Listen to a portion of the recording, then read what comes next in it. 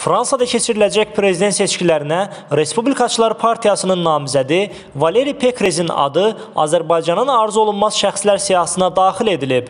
Bu barədə Azərbaycan Xarici İşlər Nazirliyindən məlumat verilib. Qeyd edək ki, dekabrın 22-sində Fransanın Ile-de-France regionunun prezidenti Fransada keçiriləcək prezident seçkilərinə Respublikaçılar Partiyasının namizədi Valeri Pekrez Azərbaycan Respublikasının Xankəndi şəhərinə qanunsuz səfər edib edib. Valeri Pekrezin Azərbaycanın Xankəndi şəhərinə qanunsuz səfərinə görə Azərbaycan Respublikası Xarici İşlər Nazirliyi Fransaya nota verib.